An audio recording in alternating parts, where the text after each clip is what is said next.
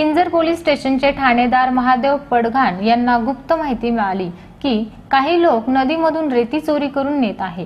ग्रामखेडा भागई जवळ नदीमधून रेती चोरून जात आहे अशी माहिती मिळताच सापळा रचून पोलीस कर्मचारी यांनी छापा मारून कारवाई केली.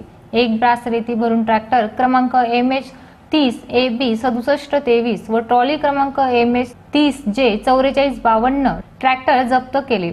दोनत पंकज सुभाष प्रधान निलेश काशीराम सदानंद भोगई यांच्यावर कारवाई करण्यात आली व त्यांच्याजवळून पाच लाखाचा ट्रॅक्टर दहा हजाराची रेती असे मुद्देमाल जप्त करण्यात आले.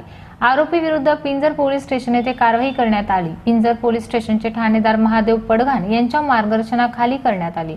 आवाज टीव्हीसाठी दिलीप जाधव अकोला.